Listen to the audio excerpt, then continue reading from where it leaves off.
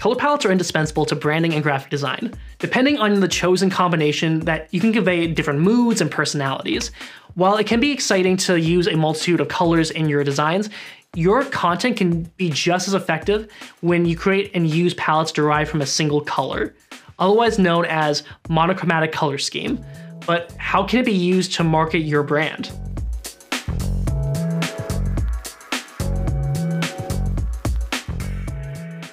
Welcome everyone to this handy graphic design walkthrough. My name is Alex Taylor, the video marketing producer for Design Pickle's marketing team and the resident gherkin behind a ton of pickle themed content inside the jar.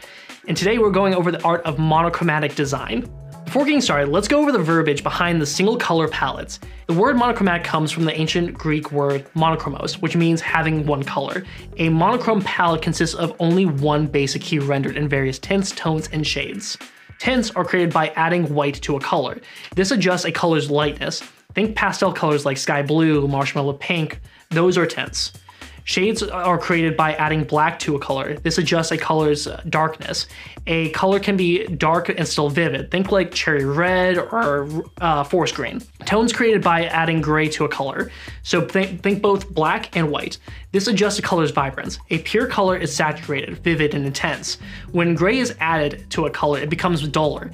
It may not sound appealing, but this is how you get those beautifully calm, neutral palettes and earthy tones. Next, select your base color with care. The base color is the starting point of your design. Keep in mind that the color you choose will impact your audience's perception of the final design. In fact, there's a wealth of knowledge regarding color psychology and marketing.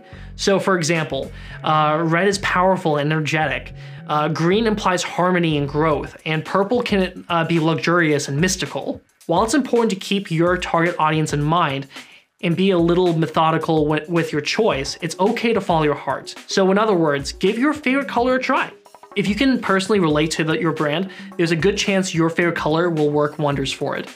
Also, your base color doesn't have to be a dominant hue from the color wheel like red, blue, or green. It can select a tint like baby pink, uh, kayak brown, or even a shade of like, like midnight blue. Once you've picked your color and expanded your palette, remember that the brightest, most saturated pigment, the one with the least amount of black, white, and gray, is likely to stand out the most in your design. So for example, primary blue may outshine its navy, sky blue, and slate counterparts. Then you may want to consider using fluorescent colors. Fluorescent or neon colors are much brighter versions of the regular hues on the color wheel. Think like neon green, fuchsia pink, electric blue, uh, highlighter yellow. Uh, neon colors reflect and emit more light, so they're quite easy to relay on screen. Just remember that neon colors are more expensive to print. You'll need to ask your printer if they have fluorescent pigments or special Pantone swatches. But if your audience is mostly online, we say go for it. Also, consider going grayscale. Technically, black and white aren't colors, but they're rather shades. You can choose not to use any of the basic hues, opting instead for a black and white or grayscale palette.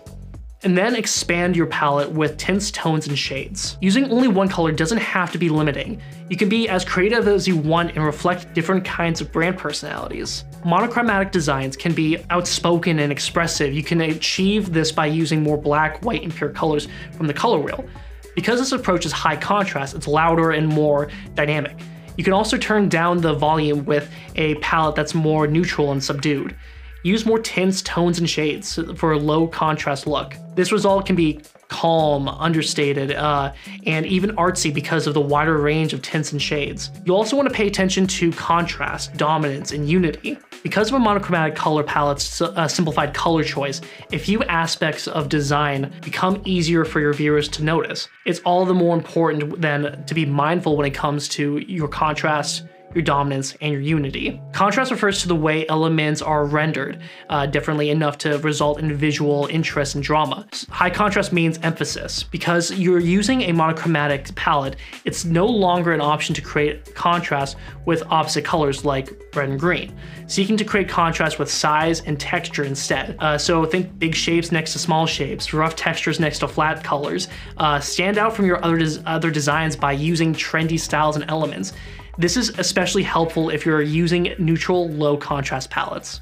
Dominance refers to an element's visual weight, whether you're using a low contrast or high contrast color palette. Give your main element dominance by placing it in your composition's visual foreground. Unity refers to how all design elements work together and communicate effectively. A unified design is the more quickly understood by the viewer, making it easier to appreciate both the medium and the message. If you were to create a monochromatic look for your brand, what color would you use? Design Pickle's talented designers can bring your monochromatic musings to life. Our flat rate subscription services give you the power of unlimited requests and revisions. And if that means helping you find the best monochromatic design for your brand, we're game. Thank you for watching and take care.